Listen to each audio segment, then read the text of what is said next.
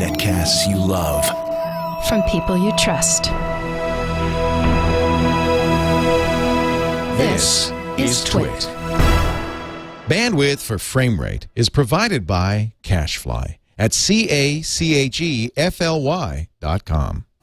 This episode of Frame Rate is brought to you by Netflix. Watch thousands of TV episodes and movies on your PC, Mac, iPad, iPhone, or TV instantly, all streamed directly to you, saving you time, money, and hassle. For your free 30-day trial, go to netflix.com slash twit.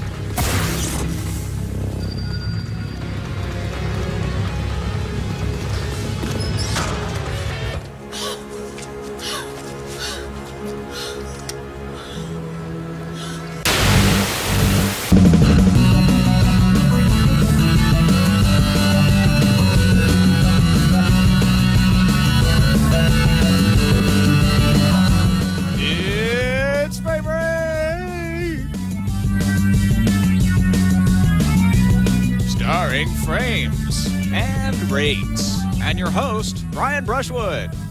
Joined as always by my inimitable co-host, one Tom Merritt. How you doing, Tom? Doing good, man. How are you? I hear you're in Palatine, Illinois.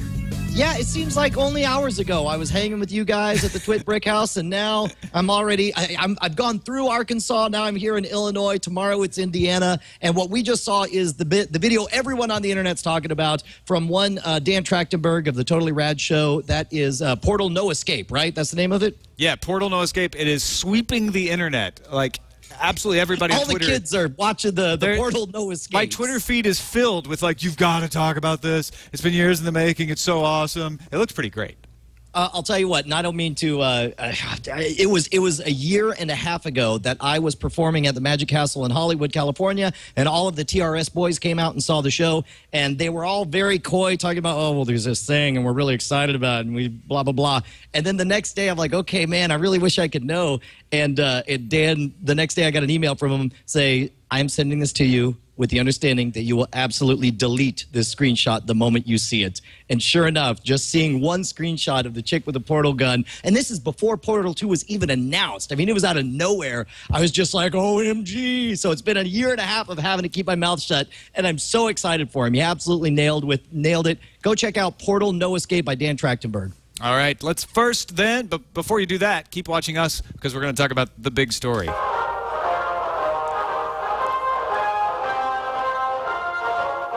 This just in, the big story. Words order not in, sense make will later. uh, yeah, Good, so Tom. Good. How's that you. electroshock therapy working out for you? doing all right. Uh, Torrent Freak did a little investigating after we talked about this last week. Uh, Fox decided to delay their posting of shows on Hulu for eight days after air. So instead of the day after, you have to wait over a week to see the Fox which shows. Means, which means it should be pointed out that means that you will never ever be able to use Hulu to get caught up on your shows. If you miss an episode, you have no chance of getting caught up. You have to stay eight days behind perpetually, or or go pay for the episode if you want to get caught up to watching it live week to week. So we actually uh, thought, well, you know what, this is probably going to cause a little piracy. It's probably going to nudge some people towards illegal behavior. Torrent Freak decided to take a look uh, at some torrent indexes and see what they could see. It turns out that over the past five the first five days of the new policy the number of downloads from the united states for the latest episode of hell's kitchen increased by 114% compared to the previous three episodes uh, and masterchef was even bigger. That one increased 189% uh, again just for the united states. So not scientific uh, you can't really make any like solid claims but it does seem to indicate what we expected right that you know Well, if you take yeah. away the option to watch it legally you're not necessarily going to make people do what you want them to do Well, and here's the other thing too. I mean, these two shows, obviously, they're cooking shows, and I know that they're they're elimination style tournaments, and you do want to get caught up. They're almost like sporting events in that way. But uh, but I would imagine that for hardcore narrative shows, it would be even higher if it's something where you're caught up in the story and you really want to know what happens. Although I don't know, maybe I'm passing judgment on them just because you know they're cooking reality shows. But I would perceive that something like a, a Breaking Bad or or you know that type of show, although obviously it's not on Fox, but uh, one of those narrative shows, I would imagine would have an even higher rate.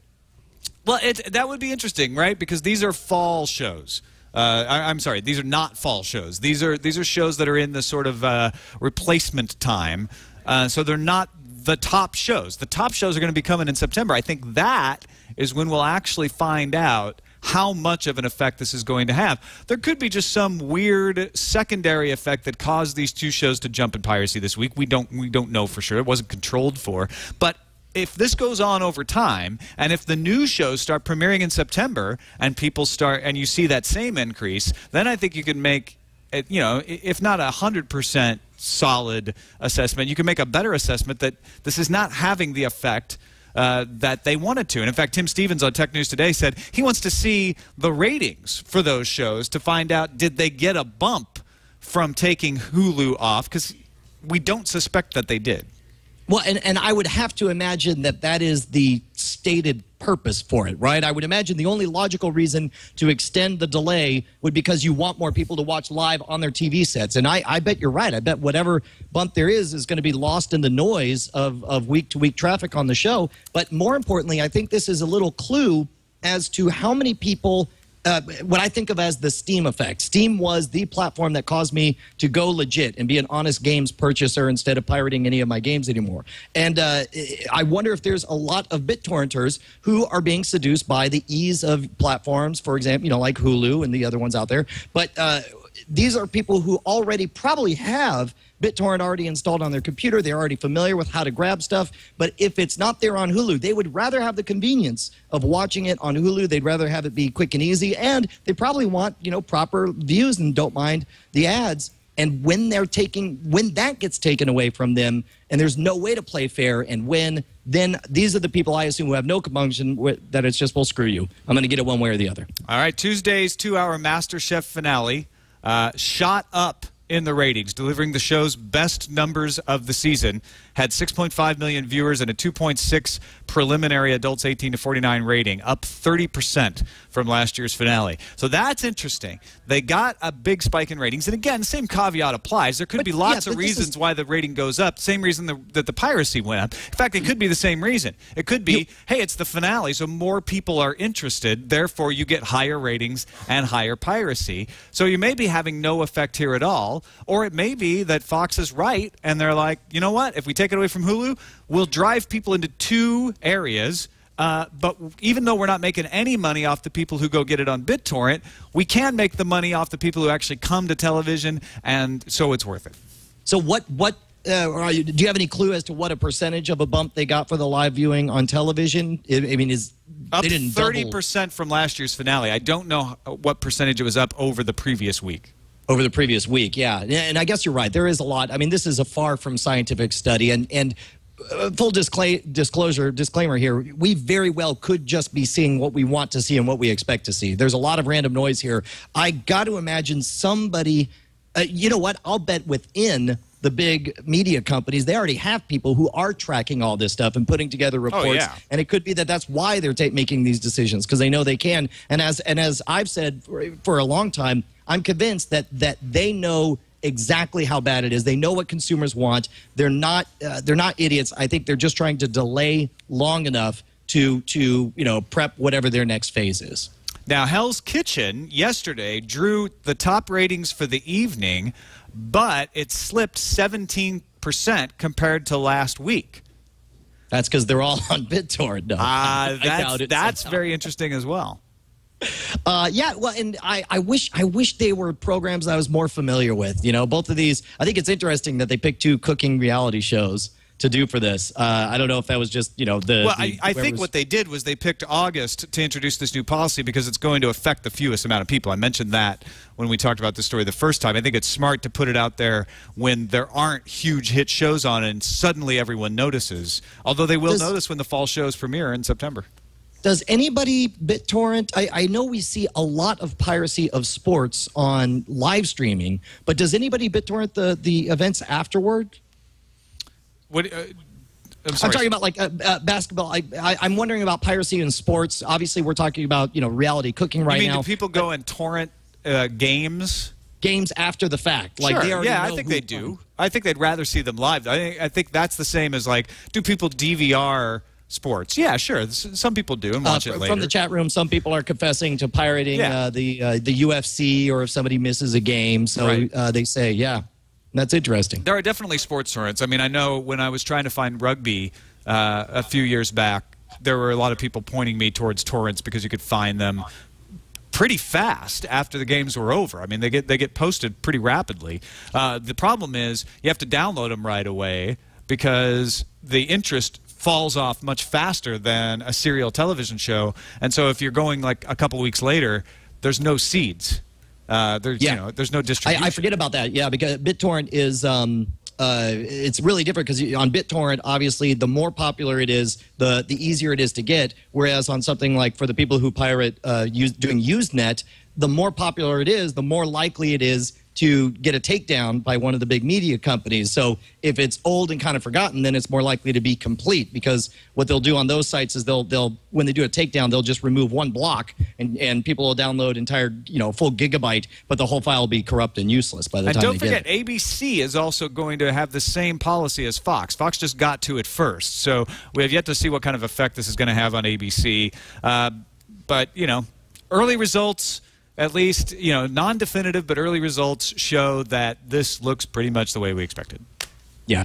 Well, and, and, and again, viewed through a lens of a non scientific survey, you know, interpreted by two guys who clearly want to be right, we can definitively state that we were right. I'm actually more surprised that people would go to torrents than just finding streaming sites that don't expose you to as much risk. Uh, because you can find this stuff on sites where they're just streaming the shows, and Well, and- and then you don't uh, have to download anything. Uh, Well, you, you do have uh, a lot of those sites, you have significant virus risks. I know that when I did that special in Indonesia last year, a bunch of people over Twitter, they found a site that was rebroadcasting my performance on the, the, the Mahakaria special that we did. And, uh, but they, uh, they were like, all of a sudden I see the backlash tweets where like, that site's real virusy, Brian. You may not want to recommend. Yeah, yeah. And, tor- and torrents have the same risk. Uh, you have to find good seeds and all that stuff because there can be poisoned torrents. Um, But there's but there's also you know There's the experience in increased risk because you cannot participate in a torrent without uh, uh, because they don't want the huge backlash. They only go after people who are doing the sharing, which is uh, you know fine if, if you know if, back in the days when it was everything was an FTP, you could go to the FTP. It was the guy who was hosting the FTP who had to worry about getting slammed by the man. Nowadays though, the way BitTorrent works is if you download, you automatically start sharing, so you become one of the providers, Yeah. which is why I know that there are a lot of people who uh, uh, use Usenet services like Giganews or right. uh, or, Mega you know, Upload is another way to go that, that Right. exposes you to less risk because you're just downloading.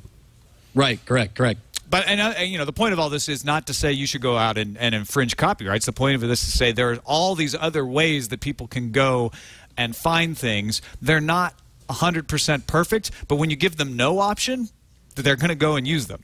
You got Yes, you, yes. Uh, in fact, the Register had a big article today saying, "Look, music industry, not talking about TV, but same issue.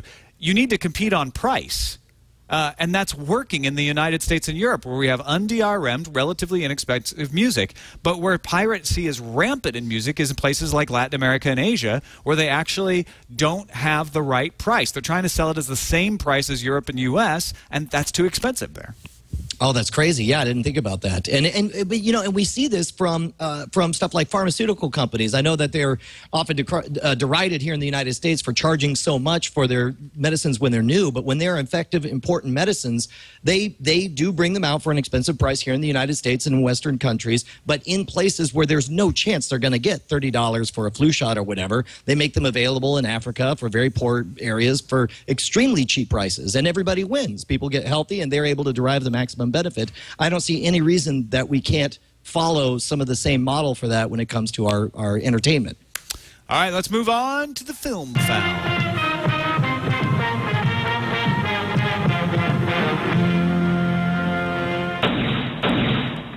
Speaking of not giving people the opportunity to get the stuff that they want to get legally, uh, Sky Movies apparently has a stranglehold on on demand rights in the UK for movies that may not be broken by competition authorities until 2014, according to Enders analysis. So, Netflix moving into Europe, LoveFilm, which already exists in Europe, are going to have many fewer A list titles in their catalogs. Uh, than they should have because the competitors own the rights.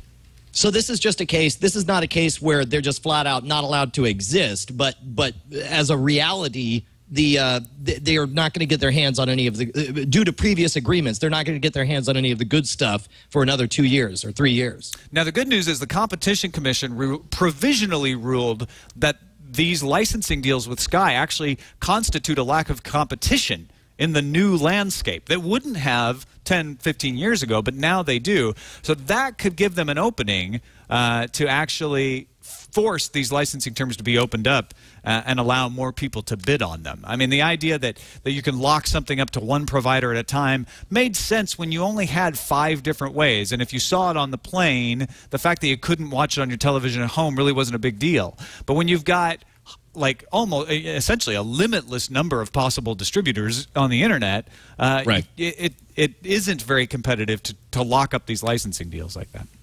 Uh, yes, I agree with that. And, and I'll tell you what, uh, on a personal note, I do not look forward to the increased number of letters that we get at framerateshow at gmail.com with people complaining that they can't get on Netflix or the service isn't good for them being in Europe. Other bad news: the Blu-ray discs uh, for Star Wars apparently going to have more changes to the films instead of just Uh. giving you the films. Did I hear? Did I hear Jason groan? Yes, Did I you hear did. Grumbling off screen. You that? did. Yes, you did. It's just it's ridiculous. The the originals were so great in and of themselves. Why you know, continue when I- this? there's there's a great uh, copyright video going around. I'm trying to find who uh, shared it with me. Ronak underscore D on Twitter. R O N A K underscore D shared it.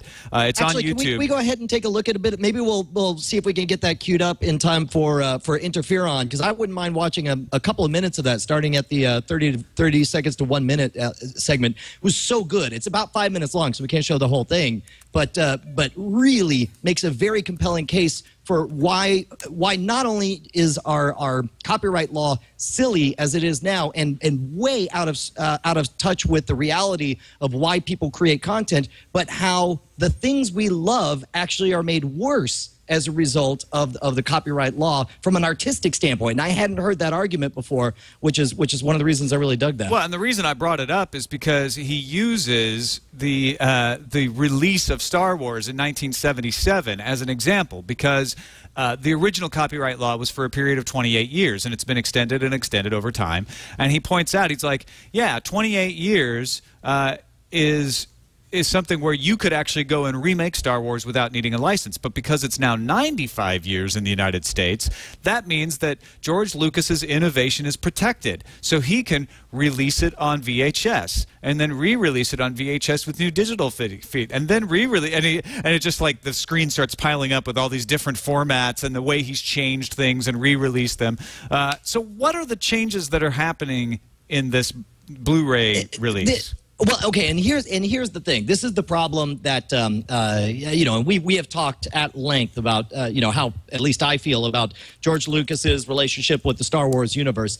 But one of the things that happened with the special editions was he got really excited to um, uh, to use new technology. And the problem is a lot of it is dated and, and was used incorrectly. So some of the changes are stuff like uh, fixing the digital 5.1 surround sound. Some of them are, they redid the lightsabers, but they redid them with mistakes in them to where it looks like they're overlapping and not connecting right. So they goes back and fix that. Some of them are, are kind of curious to me, like, like what what do you get out of it for example in episode one the phantom menace they use uh, for the majority of the movie they use a puppet yoda which of course that was good enough for empire strikes back except for the scene at the end where they show him walking along now they're going back and they're making him all cg throughout the entire thing and i just don't know I, it's it's I, I don't i would really really really like to believe that this isn't a uh, gonna be it's it's a joke at this point. It's it's of course he's always going back and mucking with it when when pretty much it's I think relatively unanimous that everybody just wants the originals. Let them be what they are what they are. You know, let them be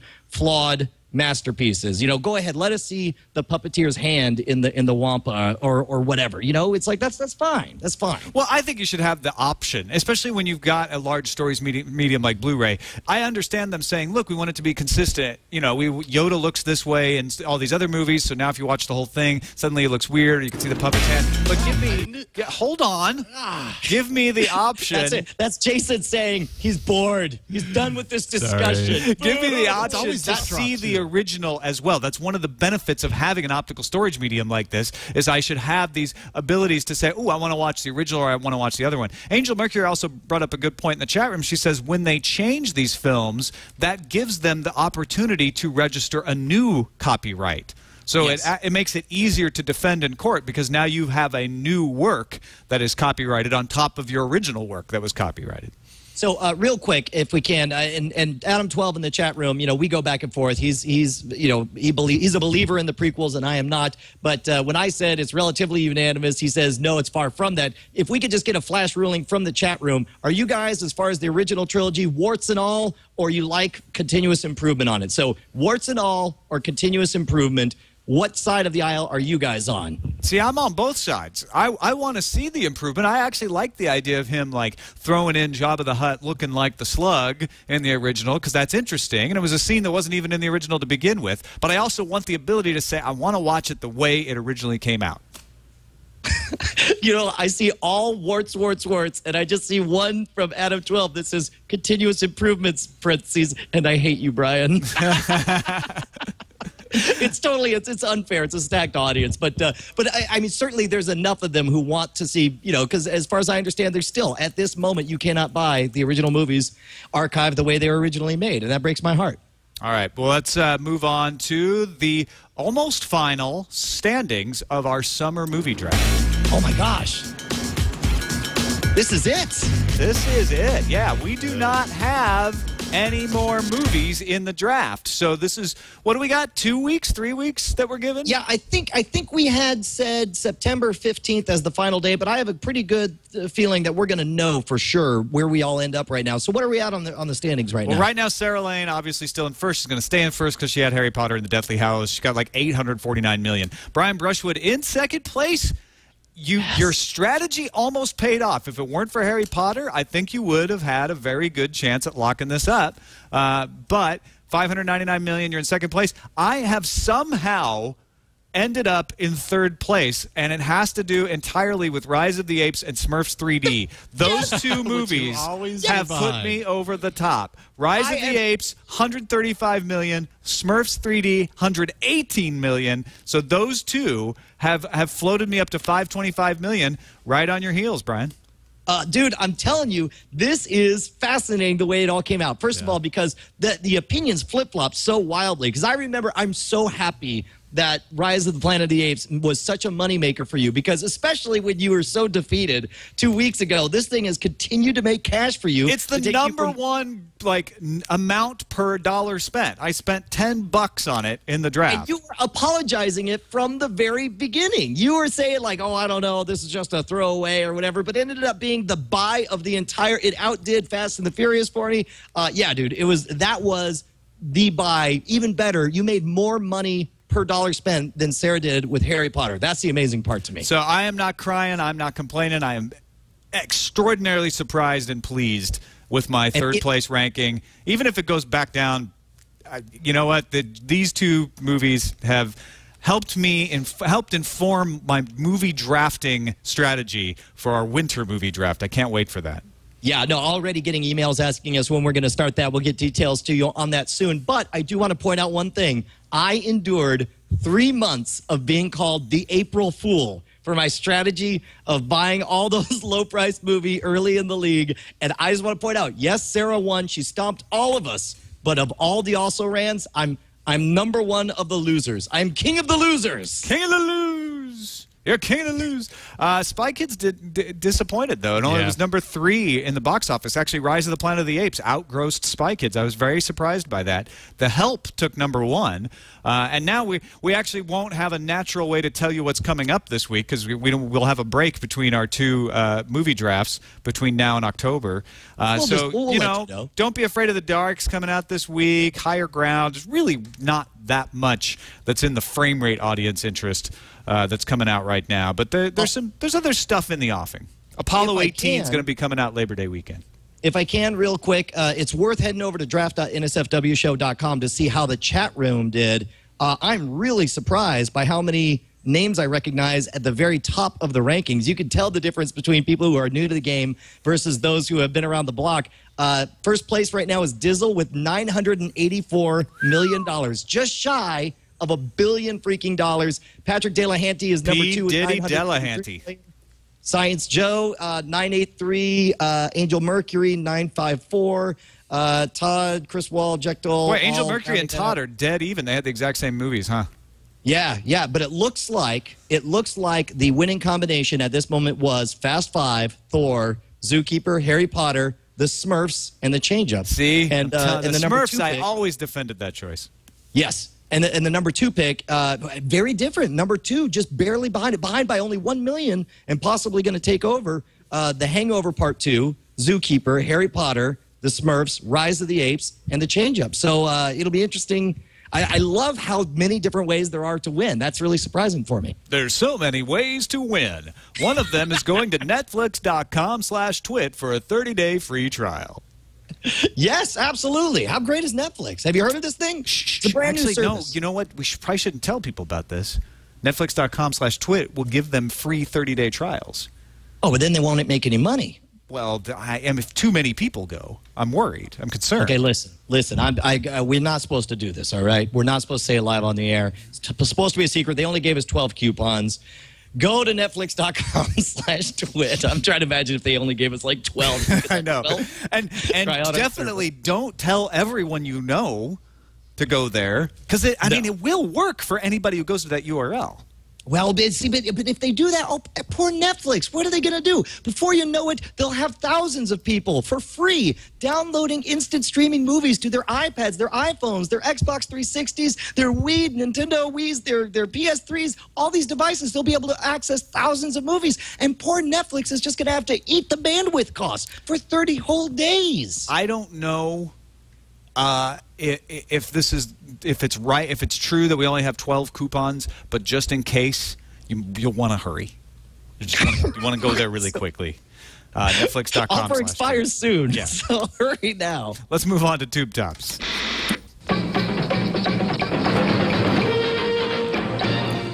All right, Brian Brushwood, you win. Lawrence Myers is on your side at BigHollywood.com about why Breaking Bad is going to suffer because of Mad Men. Now, here's the part, and it's not just like, you know, I, I said it from the outside. I was sitting on the outside, I'm like, you know, three stories side by side. Mad Men asks for record contract from AMC. Breaking Bad wrapping things up. Walking Dead cuts budget, slashes, loses director. You know, to me, sitting on the outside, I was like, well, these are clearly related. But what I didn't realize is how they're all related. And I highly recommend this. If you go to, to, to Big Hollywood, uh, Lawrence Myers breaks it down, and he says that the flaw is not uh, if there's one thing to point to it's not just that that that AMC uh, ran out of money because Mad Men were jerks. They genuinely are delivering a good product, and of course, AMC doesn't own Mad Men; they license it, and because they were From doing Lionsgate, so well, right? Oh, what's that? From Lionsgate. Yes, correct, correct. But it still And costs them a lot to license it. Yes, absolutely. But uh, and Mad Men, uh, if it, their point is, is back in the good old days when AMC was part of Cablevision, Mad Men could have asked for $30 million and gotten it. And they would have made up the, the rest of their budget by pulling that money from all of the other channels. It would have been part of a bigger pie. But because AMC is split off on its own, they've got shareholders to answer to. So they had to cough up that money. They're not going to cancel Mad Men. They're not going to let Mad Men get away. They, get, they got bent over a barrel, and Mad Men walked away with $30 million. Then they turn around, and because they're a tiny ship now, they really did have to make cuts. And that's why we're seeing Breaking Bad wrapping things up in only one more season, which totally breaks my heart. That's why we're seeing the visionary that made this made uh, The Walking Dead such an awesome big budget event last year, you know, the most successful in all of cable television history in their demographic, they're having to cut and lose big talent. And it really uh, it really number one it breaks my heart but number two it does feel good to be right i like it when other people agree with me in big fancy articles you know i, I would say that don't blame mad men for this blame studio management because what they did, according to what this guy's saying anyway in the article, uh, they gave Mad Men too good of a deal. They gave Mad Men a better deal than they could afford to give them, and now they're stuck. Yes, correct. And I and I, it'll be interesting to see what happens for, uh, you know, AMC had been really building a reputation for high quality storytelling, and I don't know that they're going to be able to afford to do that outside of Mad Men. Uh, I like the way he wrapped things up in this article, saying the takeaway is. So, what is the takeaway for big Hollywood readers? Normally, I rant about content quality appears to be the pri- primary culprit for the increasing rejection of Hollywood by middle, middle America. Content quality is directly related to the bizarro world business practices within the industry that are literally the reverse of how things are done everywhere else. Here we have a situation where the content quality is strong, but the business practices are so loony they literally undermine the ability of the content provider to continue providing that content for a reasonable price. And I, I totally seeing it from his perspective, I think I think he's nailed it on this one. Android developers are getting a preview for requirements and an API that will allow them to create apps for Google TV. So we've been waiting forever for the Android marketplace to come to Google TV because that could change everything. Uh, Google well, TV sure. could, could, become much better, much more useful. Uh, Google says, yeah, we're going to bring it out on other devices, not just the Logitech Revue. We're going to come out with new equipment. Of course, there's the, uh, in the offing the idea if they are allowed to purchase Motorola Mobility, Motorola makes set-top boxes, so that could be one option there. Uh, but in the in the meantime, app developers can uh, try out their apps with this preview to see if they will work on Google TV when the Android marketplace eventually does show up as an update to Google TV. And and one of yep. the things they can get is access to the program guide and to changing channels. So there's some interesting apps. I mean, I'm, I'm just thinking of like, well, gosh, I'd like to have, you know, a lot of these video apps on my Google TV and maybe some games and stuff. That'd be kind of cool. Uh, but the ability to actually have apps that control your viewing experience is interesting. Well, and yeah, and there, uh, wait, a couple of things. First of all, I, I don't think we've had a Logitech Revue story since I got my hands on them. I know, I, I think they dropped down to ninety nine dollars now, right? Logitech yeah, that's Revues right. are only ninety nine dollars.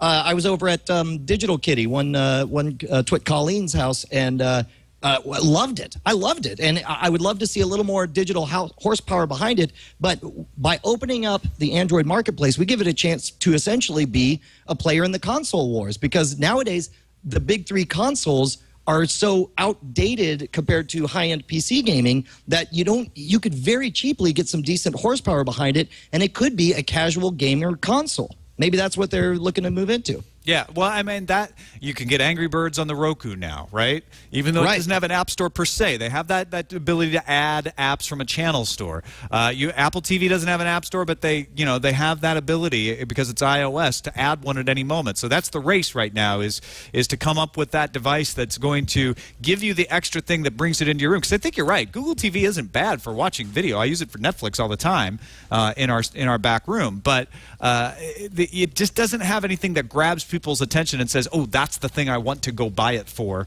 Whereas Roku, yes. it was so cheap to begin with; it's less than ninety nine dollars. That it's like the idea that you can do anything off the internet with it at all for that price is what gets like sixty bucks, and I can stream. Uh, uh, yeah, sure, why not pick it up? Well, but think about it this way. What if they, let's say the Logitech Revue is sort of the baseline of the computing horsepower behind it, and they open up the Android marketplace, and we're comparable with what you can get on your smartphone or, or in that area. Then, once people get accustomed to the idea of playing certain games or using some unconventional apps on their Google television, then imagine that they're able to uh, raise the price by saying, okay, now get the the Revue HD, which has twice the processing power, you know, dual core, d- double the RAM, to start. First of all, just get people accustomed to using this device cheaply in the Roku Revue kind of way, but then use that leverage of the marketplace to slowly make it a casual gaming console. And Ninja Hacker in the chat room says, if we bring apps to a TV, does that essentially mean we'll finally have a la carte TV? Not for everything. Not everybody's going to make their app available on the platform. Hulu probably will not make Hulu Plus available in the Android marketplace for some unearthly reason. Uh, but yes, you will be able to get apps, and that's actually what you see with the Roku. You have a la carte TV.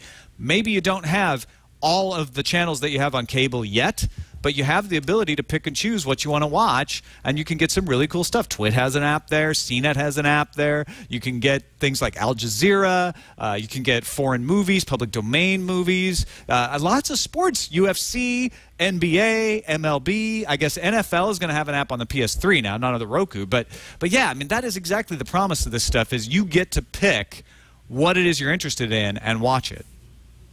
Yeah, I like the idea. Maybe these apps would be the kind of the equivalent to where we see a lot of bands try to work outside of the iTunes 99 cent processing by creating their own app for different uh, albums that they release. It'd be interesting if essentially we started seeing channels do the same thing with like the NFL content. Yeah.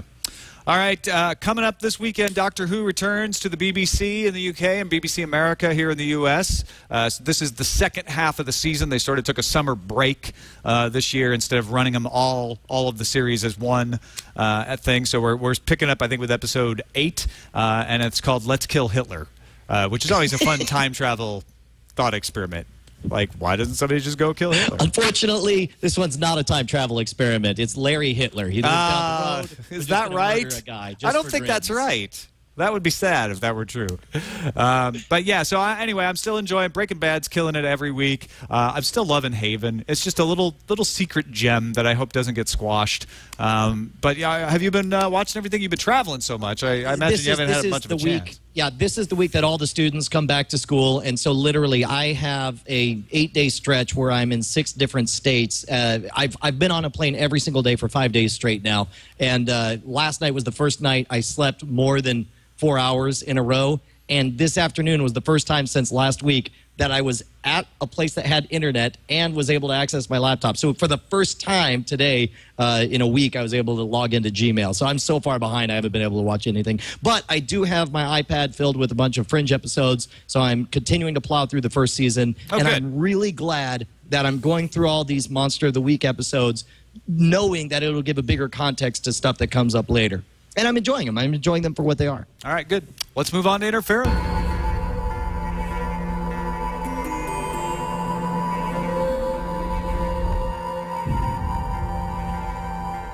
This week's segment of Interference has no Jeff Goldblum, but it does have a victory for Safe Harbor. Uh, EMI is suing MP3 Tunes, that was Michael Robertson's uh, firm, over the uploading of music to a digital locker. Now, what the court said was that the DMCA has a protection for MP3 Tunes as a safe harbor. So MP3 Tunes is not responsible for any infringement caused by any of its users. That's huge. That is Yes. a that is a big positive consumer ruling here. They also, however, gave EMI a little victory by uh, ruling that Michael Robertson himself violated copyright by uploading copyrighted music to the to the cloud. So oh wait, so so wait, so they, they, they ruled the they ruled the the cloud not liable. He but is- as he demonstrated the benefit of it by uploading mu- Yes. music to the cloud. They're he like, is okay, but you're the personally liable for music he uploaded to the service without permission of the copyright owners. Wow, that is hilarious. Um, But it I- does say, look, if you if you want to create these lockers, these online uh, services, uh, you. Ha- you basically have to respond if somebody says, "Hey, you got to take that stuff down." But as long as you do that, that's the safe harbor agreement. You're safe. You're not going to be found responsible for the things people put in their locker. Right, correct. And of course, now obviously, you know, this we're, we're frame rate, so why are we talking about a music decision? Uh, the principle and the precedent here is extremely important because, as you know, a lot of what we're seeing in the digital video world with film and, and digital distribution is the same story we saw a decade ago with MP3s. And so finally, we're getting to this point where where finally we're seeing you know common sense decision making, and this is going to pave the way to protect companies to allow them to invest more time and effort to bringing us the kind of content that we want, the way we want to enjoy it. Now, here's the part I don't like. The judge said that MP3 Tunes is responsible for removing infringing materials out of people's lockers, and if the files stored by numerous people were obtained from the same source, MP3 Tunes is responsible for chasing all the copies down and pulling them. So he's still putting a burden saying if people have put stolen stuff in their locker, and you become aware of it, if you're made aware of it, you have to follow safe harbor rules and remove it, and you have to remove all the copies of the same thing, uh, no Now, matter what did- locker it's in. Now, in the case of a locker, um, how, how does it know? And, and uh, you obviously have been following all this stuff much longer than, than I have. But how does it know the difference between your, your legal one backup copy versus an, an illegal copy? Or, or Yeah, whatever? exactly. That's easier said than done, right? I mean, Yeah. theoretically, it's saying, oh, well, if this copy. Uh, you know, is, is a perfect copy, and EMI says, "Hey, that's infringing." Uh, then, when it's when it's found anywhere, it should have a digital signature that matches, and you get rid of it everywhere. In fact, the MP3 Tunes is designed to work that way to say, like, "Hey, that's the same song as this song, so we're going to just store it in one place and have everybody point to it." Uh, so Right. theoretically, that would work. But yeah, what if I say, you know, forget MP3 tunes and the way it works. What if I say have a locker and I, I have uploaded my legally purchased but not DRM'd iTunes music, uh, and then someone else pirates le- uh, iTunes music, and I've got the same signature, right? Yeah, right. How does that work? Uh, well, I'm sure there'll be plenty more lawsuits to work that out. Look forward to more lawsuits. I think you're right. this actually is probably copyright infringement right here, but really newsworthy. This is why we need different copyright laws because this should not be infringing in any way. And I bet Tom Waits is smart enough not to send a takedown notice. Uh, but I found this on Boing Boing today. Cory Doctorow posted it up. A YouTube mashup of Tom Waits's "God's Away on Business" with Cookie Monster clips. Now you have to have the sound up for this to work. Because if you just look at the video, it's like, oh, it's just a bunch of Cookie Monster. If you just listen to the Tom Waits song, it's like, oh, it's Tom Waits singing. He sings kind of weird. If you're looking for someone to pull you out of that ditch, you're out of luck. You're out of luck. Ship is sinking. The ship is sinking. The ship is sinking. Now, you start to watch this, you start to get convinced, like, that's just Cookie Monster singing, right? Like, no, that's Tom I- Waits. Uh, I, I I love it because when I I honestly couldn't decide, and I was not familiar with the Tom Waits song, although I'm familiar with Tom Waits' voice, but I wasn't sure enough. I'm like, is that actually Tom Waits, or was that somebody singing a Tom Waits song in a Cookie Monster to make fun of Tom Waits' normal singing style? But knowing it's the real track makes it even better. And in fact, there's some fantastic um, uh, linguistic tests that you can see on on YouTube where they play the exact same audio of of a, a certain syllable being made, but then they show different different Yeah. um, wh- whether it's a pop or Uh-huh. a ma. And then uh, looking at the lip placement actually makes you hear and perceive the sound differently. Yeah. And I think that just seeing Cookie Monster doing that, we're like, this is clearly an intentional parody of Cookie Monster making this song. Absolutely, and and, and it really it really works, and it's really weird uh, and awesome, and should not, that should not be illegal, right? No, I mean, I'm not saying it is. I'm not saying it's going to get taken down, but that is remix. It's well, it's the the it's uh, and and we've talked about this before as well. The you know YouTube has their clean and dirty, easy way to understand copyright law, which actually makes it more confusing because they're like this bad, this bad, this bad. Fair use, okay. Well, what's fair use? They're like, hey, look over there, that dog has a puffy tail. It's like we need to hash Yeah. this out with uh, in order to to to get it all settled. And we do have the link to that copyright video. If we could jump in, like maybe uh, one minute in, he starts off talking about how the exact language in the Constitution of the United States of America says to promote more uh, you know more science and more art you should have a limited protection under copyright. Uh, and so uh, think about this. The stated reason for it is so that you can have a reason for more people to create more beautiful art uh, and yet these are the unintended consequences of the continuous expansion of copyright. And what I like law. about this video is it's doing the thing that I think needs to be done when we evaluate copyright law, which is is it promoting creativity and art. Correct. And it is a, it is approaching copyright law from that perspective. Do we have? Yep. Do we have it? Yeah, we, do. we got it right here. Released Star Wars: A New Hope in 1977. That's more than 28 years ago. So great, get filming. Alas, no. While Star Wars should have lost copyright protection in 2005, it's actually copyrighted until 95 years after publication, not 28. So you can't use it unless Lucas lets you. Why does his copyright last for ages? Well, as long as there has been copyright, there have been authors arguing that it's too short. And perhaps they're right. How's a poor guy like Lucas supposed to turn a profit in the mere 28 years between 1977 and 2005? After all, there was only the theatrical release of A New Hope, and the theatrical re release in 1978, and again in 1979, and 1981, and 1982, and then there was the 1982 VHS and Betamax releases, the 1984 broadcast television release, the 1985 Laserdisc release, the 1989 widescreen Laserdisc release, the 1990 VHS re-release, the 1992 widescreen VHS release, the 1993 Laserdisc re-release, the 1995 VHS re-re-release, the 1997 special edition theatrical release, Han Shot First You Bastard, the 1997 VHS special edition release, and the 2004 DVD release. And now you, dear filmmaker, come along and want to make your own version of Star Wars A New Hope? For shame. That's like stealing food right out of George Lucas's mouth. Four times Congress has agreed with authors. So anyway, right to it, that, that's that's my favorite part of it because it's using that as an example of look, this this copyright law is not working the way it was intended to work. You can make all kinds of arguments of why it should work that way, but that is not the way it was intended to work in the first Well, and here's the great betrayal is when he said, uh, "Look, nobody. The fact that you are protecting copyright after the death of the creator is the part that really uh, shuts everything down because nobody is. How are you going to incentivize somebody to create more stuff after they're dead? Right? They're going the the fact that you know, uh, and he points out J.K. Rowling. She's she she didn't she wasn't stymied by the fact that uh, that she uh, would no longer have copyright after 70 years after her death. You know, she created it because she had a story to tell, and and after a certain amount of time, other people should be able to tell their own stories with this this fable. And then the worst part is when he says that the reason that it's expanded so long is because of corporations like the Walt Disney Company, which uh, they made their living, they made their entire business by taking old stories that were in the public domain and telling their own version of them really well and making them very popular. Now they have a stranglehold on those properties that they picked up for free out of the public domain. wait, wait, I mean, wait, there's a Brian. reason called- Brian, uh, What? We're actually probably violating copyright here because we're using CGP Gray's stuff as a source for telling our own version of how copyright should work. Uh, you know what? Um, maybe it's time to move on to feedback. Yeah, yeah. Let's let's, let's move on. Now it's time for feedback with Brian and Tom on Frame Rate. Yeah.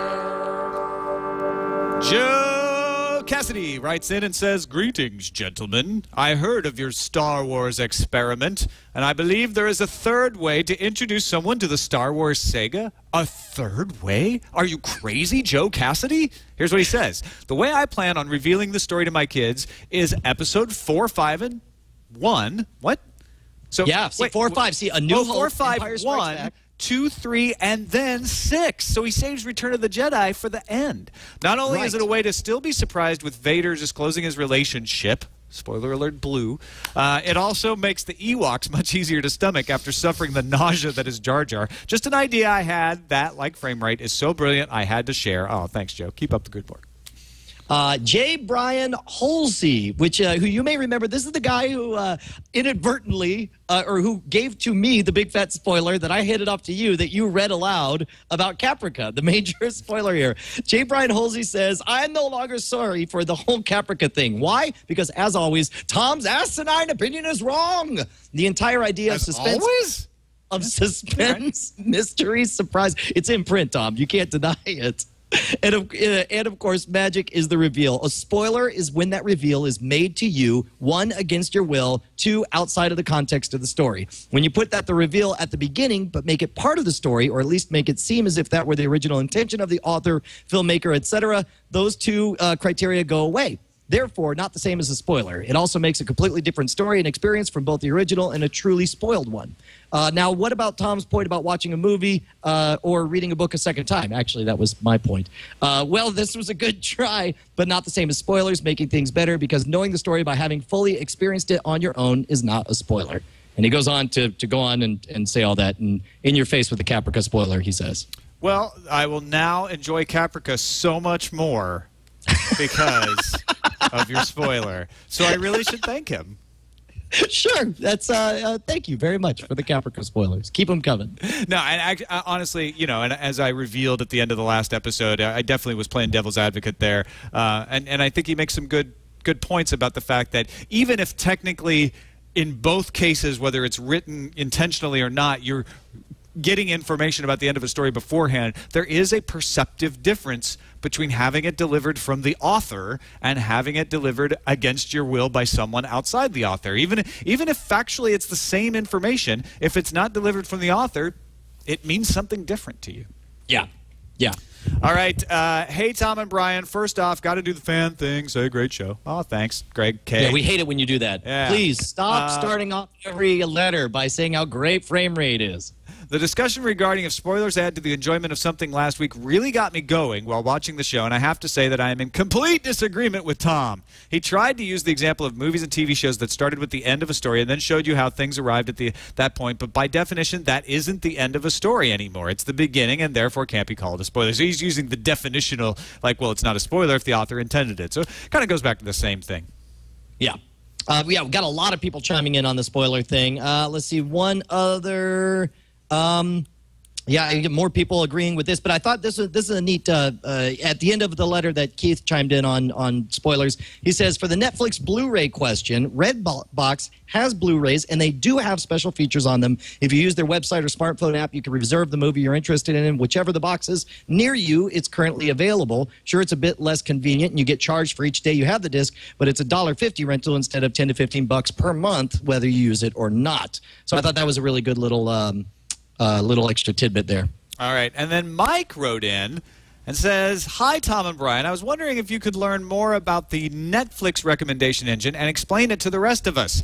I've rated over 7,000 movies and they give lousy recommendations. The more movies I rate, the worse they get. The My Top 10 section has 10 movies that aren't even in my top 1,000. Maybe you can find out why Netflix suggestions are so lousy. Love the show. Well, Mike, Now, this is- there's three different reasons that I can give you for why this may be happening. Well, okay. Well, and, and I was surprised to read this. I had never. This is literally the first time I've ever heard anyone say that the Netflix recommendation engine is lousy. Because to me, it's like mind reading. And in fact, they offered that million dollar prize to, to anyone who could enhance the the reliability of it by even like five percent or something ridiculous, right? Yeah, well, that's reason number one is it's very difficult to do this, and they actually had that contest. I was going to bring that up where they were like trying to get people to help with the recommendation engine. So they're not done working on it. That's still something that they're trying to perfect. Uh, reason number two could be that you're not aware that your movie taste is actually awful. And Netflix is informing you this in the nicest way they can. Um, the third possibility is that you have watched all the good movies, and there's just nothing left for them to recommend. Well, and and I I don't know. I guess I like I like how you accepted that one. You're like, well, that could be. No, no, no. Well, I mean, specifically, what I was going to say is because that is true. There, there is for you. There will be some quantity of the best movies in any one category, and once you've watched those, you may think you want more in that category, but it turns out you just have watched all the best ones that there is for that. You know, for me, it was like, you know, I thought like I must love anime because I love these eight movies, and then I was like, no, I just love these eight movies, and Yeah. uh, anime in general, eh, okay. Uh, but uh, and so, uh, which not please don't. I, I do like anime, but that was a phase I went through. But uh, specifically, it may make a recommendation for you. But I find the the the our guess for what Brian will like uh, a number of stars tends to be uncannily accurate for me. You know, like a movie that I've never seen before. I'm like, yeah, man, that's about that's about two and a half stars. That's three and a half stars. I'd say it's thing. about seventy percent for me. I mean, they, they they put some clunkers in there where I'm like, where did this come from? Or they, you know what? The thing is, I haven't been able to test that accurately since they uh, since we removed our separate accounts. When we went to pretty much doing streaming, and we only and we went down to just having one disc a month, uh, Yeah. I, I I had I ended up just removing my account you know, because you, you can have multiple accounts under one account.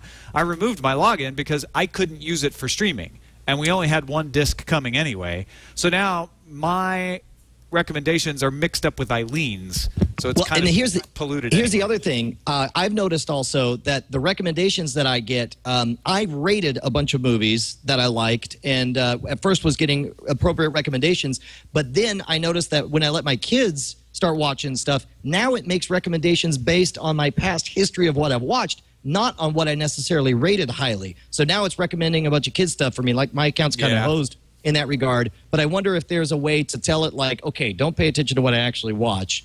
Pay attention to what I say I like. Uh, that would be helpful. Can you imagine if Netflix was able to just say, like, you know, like a Nielsen box, like, who's watching this streaming video right now in your household, and then create recommendations based on, like, you could just punch in and punch out. Like, Dude, so- you like- won't even like have to with three your- of us are watching a movie, and With your- and you actually just say like. Oh, I- I'm giving up halfway through, and then your personal rating for that kind of movie goes down a little bit versus the other two people who hung out and watched it all the way through. You you can do that right now. There's technologically no reason you can't do that with your Xbox Kinect right now. Have it recognize all the faces of the Yeah, people who are go. sitting on the couch. See who gets up and leaves. I mean, this is this is doable at this moment, and I wouldn't be surprised if in limited households we saw that within the next two years. I like it. Go get it, Microsoft. That's it uh, for this edition of Frame Rate. Brian, uh, thanks uh, again for a lovely, uh, a lovely show. Dude, it was fantastic, and thank you to the Wi-Fi here at this hotel. It Apparently, worked. the one megabit upload was not a lie. Do me a favor, drop us an email to framerateshow at gmail.com or you know follow us on the on the G pluses, Google pluses. Good job, Palatine. We are, we are happy with your Wi-Fi. Go Pirates. That's it uh, for this edition of Frame Rate. We'll see you next time.